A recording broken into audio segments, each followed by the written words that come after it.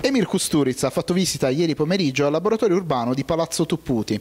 L'evento era previsto in contemporanea con l'inaugurazione del laboratorio e della mostra fotografica allestita in onore dei vent'anni dall'uscita nelle sale del celebre film Underground.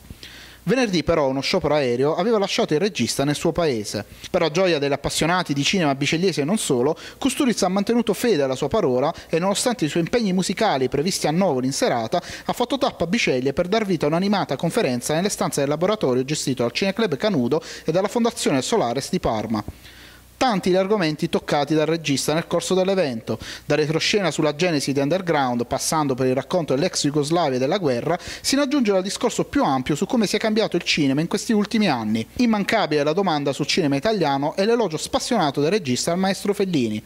Kusturica non ha tralasciato diversi divertenti aneddoti da Red Carpet. Intervenuto all'evento anche il sindaco Spina che ha colto l'occasione per ringraziare Kusturica della sua presenza nella città del Dolmen. In maniera arguta e simpatica il regista ha rimarcato la differenza tra lui ed il sindaco. In my case I have my private city. They don't vote, I vote for uh, who I will let to get into my town. Dopo la piacevolissima chiacchierata, Kusturica è scappato via non prima però di ricevere l'invito di Antonio Musci a tornare presto a far visita al laboratorio urbano di. Palazzo Tupputi